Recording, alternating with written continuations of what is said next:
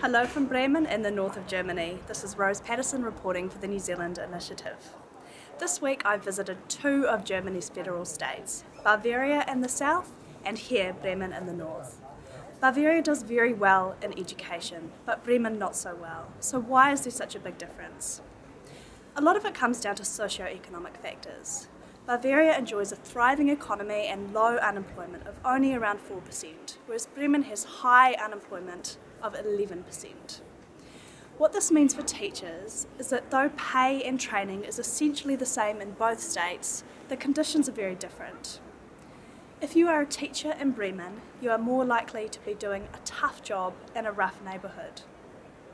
The consequence of this is that after investing seven years training teachers in Bremen, many teachers move to different states where the conditions are better, so they lose their best teachers.